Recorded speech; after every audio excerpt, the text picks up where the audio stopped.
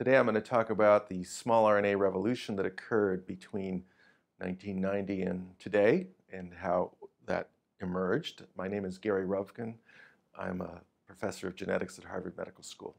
One learns as an undergraduate the central dogma of molecular biology where DNA makes RNA that makes proteins and small RNAs have modified that over the last 20 years. The first example of the of modification was the microRNAs that I'll go into great detail today.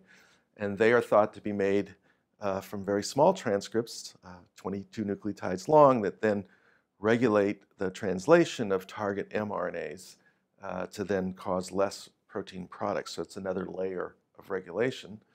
Uh, but in addition to microRNAs, there's also many other tiny RNAs that are made inside of cells uh, that probably regulate uh, uh, the production of RNA uh, from genes and, and also add a regulatory locus. And those were discovered at about the same time, and I'll talk about that too. So the star of the show is C. elegans, the nematode.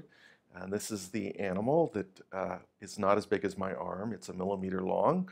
And uh, it has been a subject of thousands of researchers worldwide uh, who work on it. It started as a field uh, by Sidney Brenner uh, in the early 60s as the most simple, complicated animal to work on.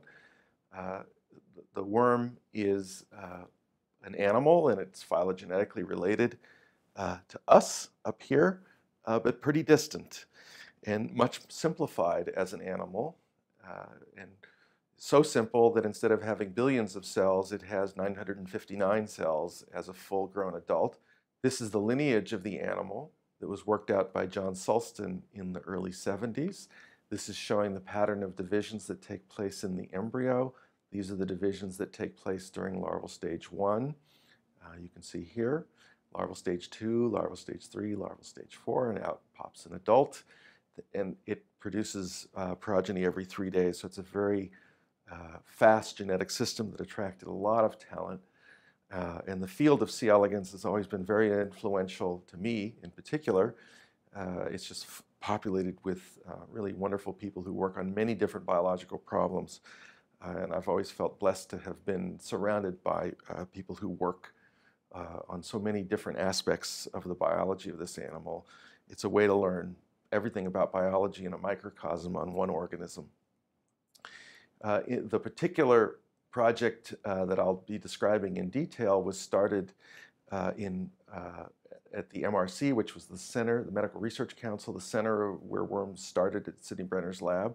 Actually, Marty Chalfie started this project uh, discovering the LIN4 uh, mutation back in the mid 70s.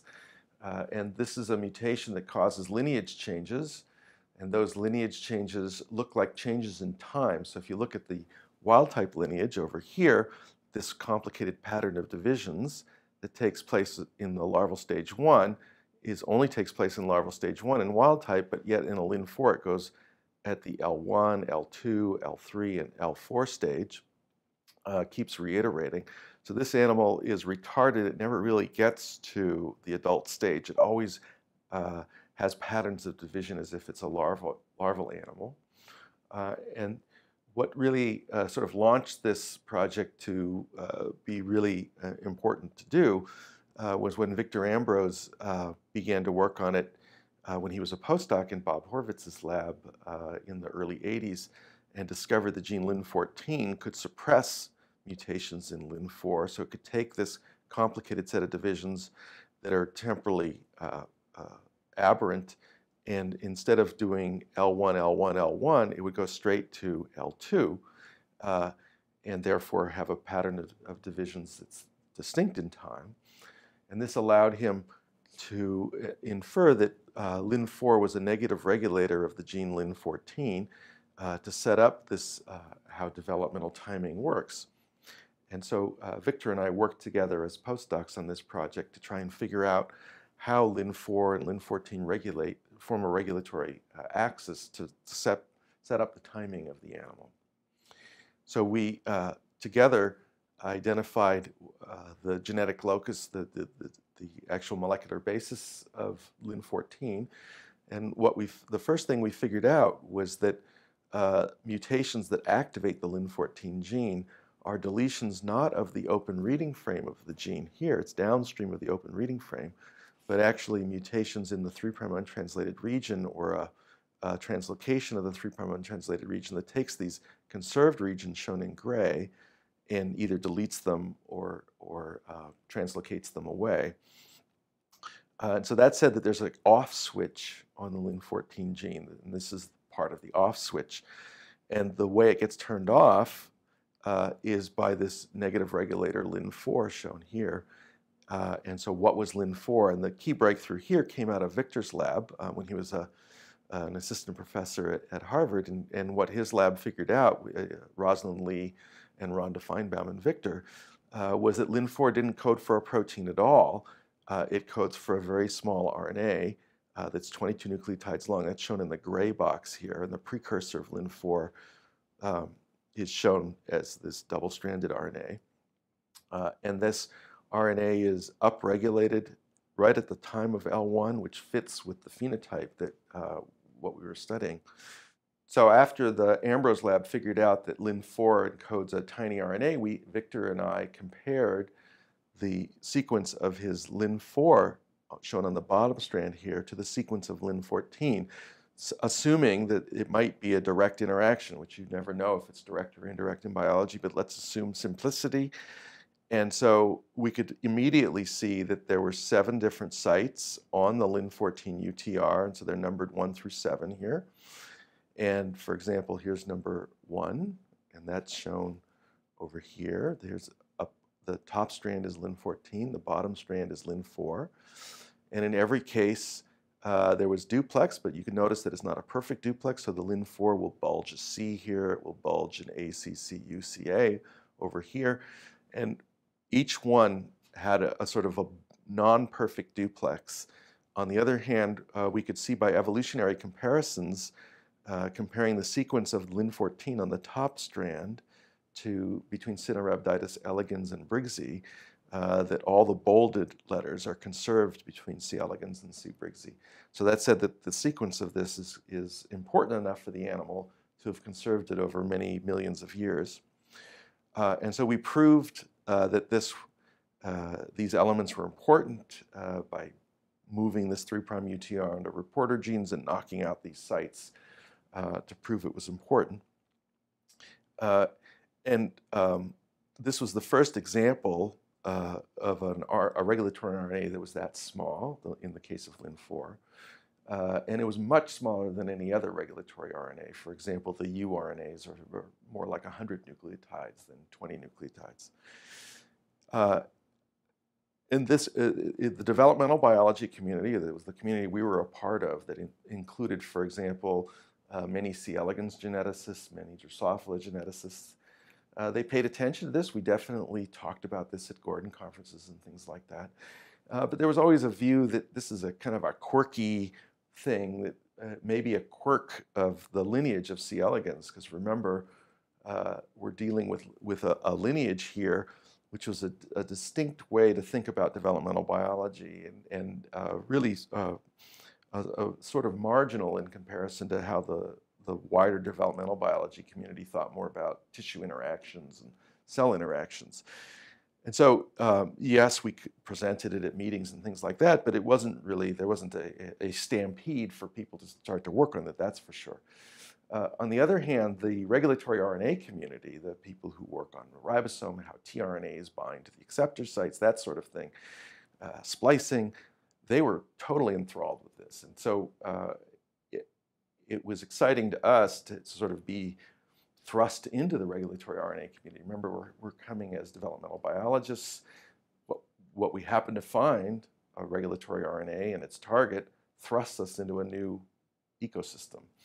And that ecosystem uh, informed us in many ways, uh, is very sophisticated, uh, how the ribosomal RNA folds, uh, how the ribosome works. Uh, these are, these are um, inspirational fields. Uh, and it's one of the great things about biology is that there's these islands of specialization, uh, and you can learn a lot from each island. And, uh, biology teaches us that that, that uh, islands are, are, are, where the, the most extreme uh, variation occurs. So how does the LIN4 microRNA work? Well, it, LIN4 gets upregulated at the L1 stage, and that causes less production of the LIN14 protein, that's its target, uh, but it doesn't really affect the mRNA levels nearly as much as it affects the protein levels. So that said that the way microRNAs work, this one microRNA, uh, is by regulating the translation of target proteins. We still don't know, even 20 years later, exactly how that's working. It's still an object of uh, much research uh, in, in uh, microRNAs. The next stage, uh, right now we're at 1993 approximately. The next stage is seven years later uh, when we start doing genetics to try and fill out the rest of the pathway to figure out who else is being regulated to specify these lineages. And we get LET7 as a suppressor of a weak LIN14 mutation. And when we figure out what LET7 is, we figure out that it's another uh, microRNA. In this case, uh, looks a lot like the first one. It's not homologous at all, but it's analogous. It has the same stem loop structure. The gray box is the 22 nucleotide product of that. And in this case, uh, the, the LET7 microRNA, when we compared its sequence across emerging databases, now remember this is the year 2000 as opposed to 1992, so genome databases are much more sophisticated. The human genome in the year 2000 is about 30% done. So we could compare it to the 30% done genome sequence, not by doing northern blots or anything like that, but by just doing a BLAST-N analysis, just asking, is the nucleotides conserved? And boom, we could see it 20 seconds later. And that was an amazing moment uh, because the activation energy to actually do a northern blot or some kind of experiment to look for conservation is takes some oomph to do that. But looking in a genome, you could do it in 20 seconds and know the answer. Uh, and so we sort of instantly knew that LET7 was conserved in flies and in humans in genome sequences, but we also had to, of course, prove that it was a small RNA. So we did do a lot of northern blots to a whole zoo of creatures. Uh, and that was very influenced uh, by a, a, a, comparative developmental biology uh, conferences that uh, Eric Davidson had run at, at, Marine Biological Labs, where I'm actually giving this, speaking to this camera right now. Uh, now, at about the same time that we were finding this second microRNA in the year 2000, uh, Fire and Mello and Baulcombe and Hamilton had found that tiny RNAs uh, are produced by in RNA interference, which was a, a very hot topic at that point. It was very mysterious how injecting double-stranded RNAs into organisms would inactivate genes. And uh, Hamilton and Baulcombe found 22 nucleotide RNAs. Uh, I was enthralled by the fact that uh, the microRNAs and the, the uh, uh, siRNAs are the same size, and I remember the number 22 uh, was a, an important number in the Kabbalistic numerology.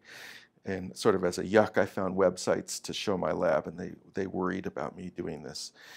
Uh, much more productive was to say, okay, if, if they produce the same size RNAs, maybe they use some of the same enzymology, and the enzymes that take uh, double-stranded RNAs and chop them into siRNAs were being discovered, for example, by Greg Hannon's lab at Cold Spring Harbor.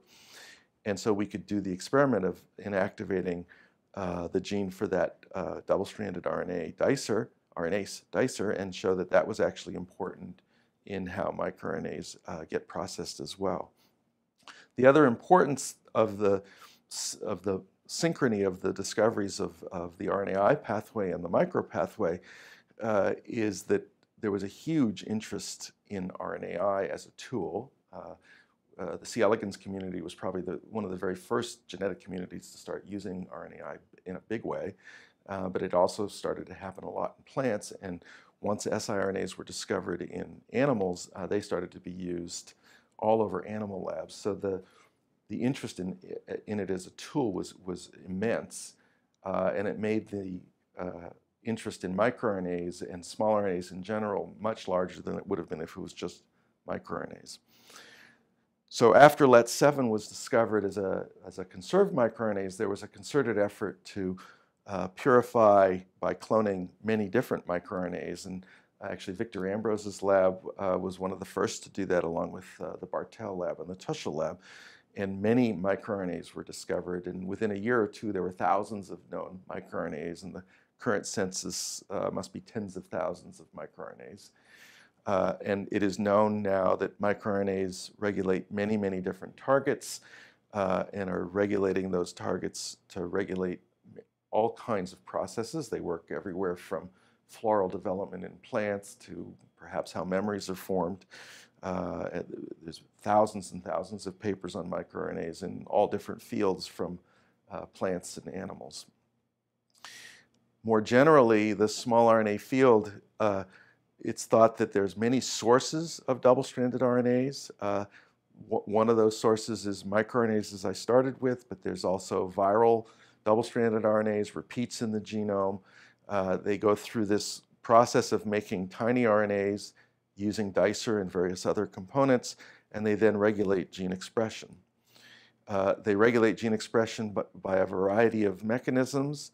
The ones I've told you about so far are uh, translational repression and RNA degradation, which siRNAs mediate by simply causing cleavage. Uh, more mysterious is the regulation of heterochromatin that also involves small RNAs uh, and how that histone modification responds to small RNAs is a big mystery today. Thank you very much.